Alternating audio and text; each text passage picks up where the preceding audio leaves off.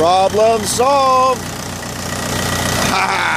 Look at that, baby. Look at her island like a dream.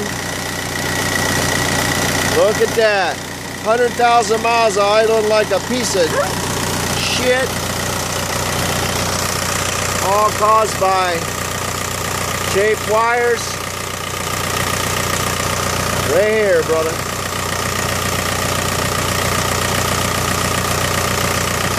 And that was, so if you're throwing a P3105, that is your problem.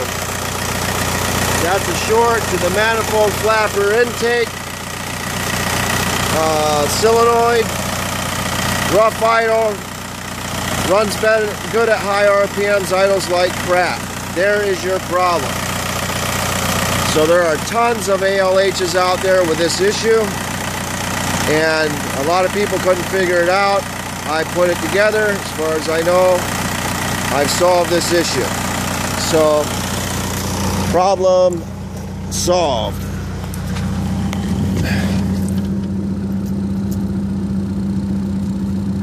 At 414,000 miles. I am so glad I resolved that.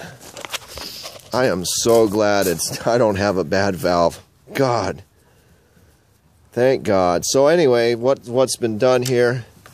Here's what I did. Let me shut this light off because it's interfering.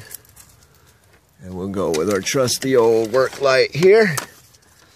So what's happened is there was a short to the solenoid, which normally is mounted behind your uh, intake, which is stupid, I know, because on the motor and it's doing this shit all day long.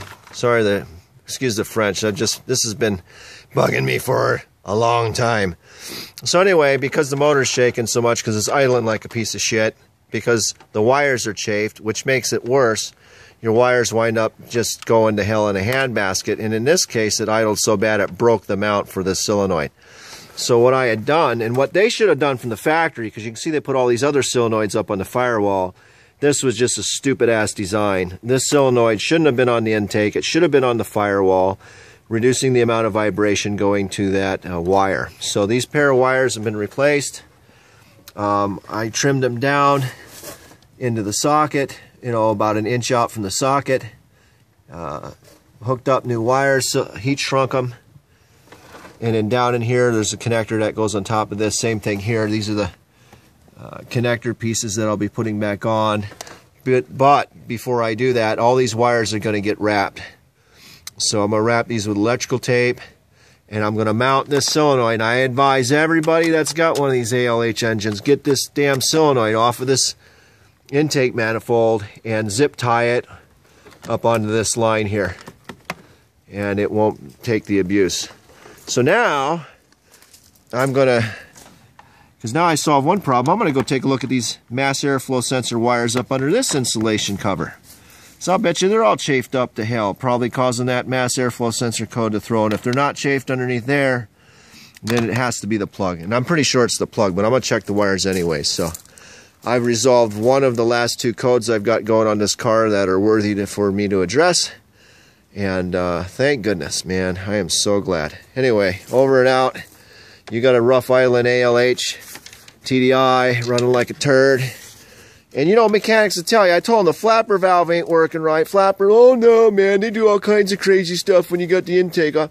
No, it ain't working right when the intake's on. But needless to say, you know, forget about it. You want to figure anything out, get off your ass, figure it out yourself. And if you want anything done right, get off your ass and do it yourself. It's just the way life is. So, anyway, uh, hopefully this will help somebody. This will be the second video for the follow-up on the uh, P3105 code. And uh, problem solved. All right, over and out. Good luck.